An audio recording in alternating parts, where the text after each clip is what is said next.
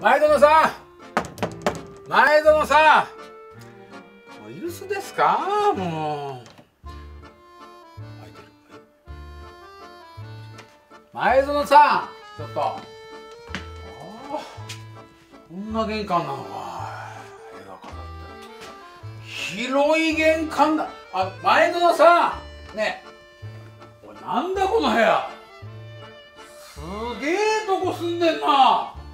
え？え前園さん！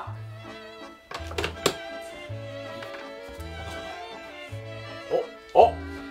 新聞とかね。あれ？あれ前園さん有名な人なの？あら？え？玉田美希？え？知ってる。ああ玉あ。前あそうあの人だったの。ああすごい人なのね。あ知らないそれでこんな豪邸に。はあ。怖いもんでこれおあこれだ。これだ。玉田美希玉田なるほどな。バク。ないない。おおおトイレ。であ風呂あんだおおトイレこれ。木のね。木のトイレこれを使ってる人がいるんだな。あーあー重厚感のある。どういう大工さんがやってるんだろうしょうがねえな。なんだこの家。どうやったらこんな家建てられんだおい。前園さん。もうねうるさいんですよ。生活音こういうとこに住んでるから音に関して無頓着なんですよ。私なんてねあのね6畳一間でやってますからすごくねあの神経質な作業クリエイターなら分かりますよね同業者ですから。ね。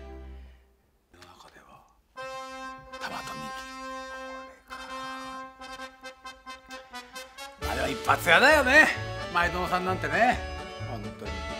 不用心だし取るもんな。ああ羨ましくない。何にも羨ましくないな。2階え？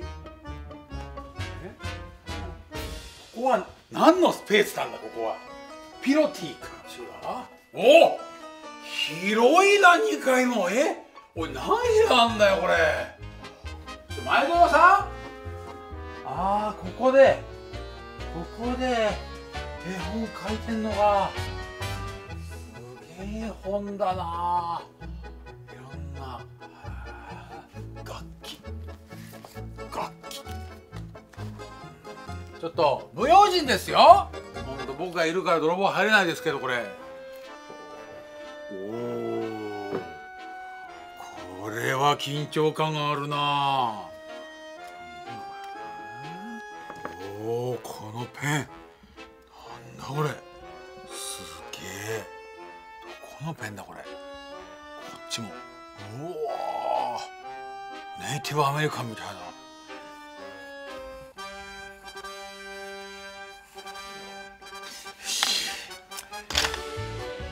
えこれオレンジやねえかよ。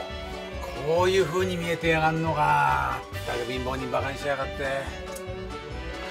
ー羨ましいかけっぱなしだった